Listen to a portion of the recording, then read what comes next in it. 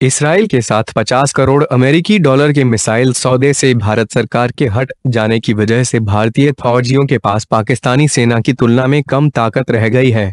भारतीय सेना के सूत्रों ने एनडीटीवी को बताया कि पाकिस्तान के पास अपने इन्फेंट्री सैनिकों के लिए पोर्टेबल एंटी टैंक मिसाइलें हैं, जो तीन से चार किलोमीटर दूर मौजूद भारतीय टैंकों और बंकरों को निशाना बना सकती हैं, जबकि भारत के पास इसी तरह की जो मिसाइलें हैं। उनकी मारक क्षमता सिर्फ़ दो किलोमीटर है। 1600 Spike Spike anti tank guided मिसाइलें खरीदने के लिए हो रही बातचीत काफ़ी आगे पहुँच जाने के बाद भारत इस सौदे से हट गया है, क्योंकि वे सेना की ताकत को बढ़ाने वाली मिलती जुलती मिसाइलों को देश में विकसित तथा निर्मित करना चाहता है, ताकि अस्त्र आयात पर देश की निर्भरता कम करने की खातिर प्रधानमंत्री नरेंद्र मोदी की पहल पर ज़ोर दिया जा सके।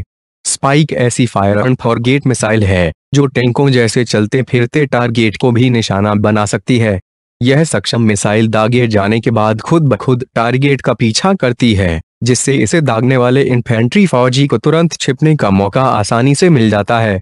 स्पाइक का निर्माण इसराइल की राफेल एडवांस डिफेंस सिस्टम्स करती है। पाकिस्तानी फौजी चीनी एच जे मिसाइलों के घरेलू संस्करण का इस्तेमाल करते हैं। जो मौजूदा वक्त में भारतीय सेना के पास मौजूद मिसाइलों की तुलना में लगभग दोगुनी दूरी तक वार कर सकती हैं।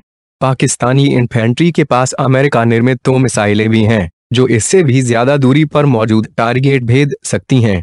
चीनी एच जेग मिसाइलें जिन्हें पाकिस्तान बख्तर शिकन कहकर पुकारता है का निर्माण टीयर टैंकों पर लगे अत्याधुनिक एक सप्लोसिव आर्मर को हराना है जो इस वक्त भारतीय सेना का प्रमुख टैंक फॉर्मेशन है।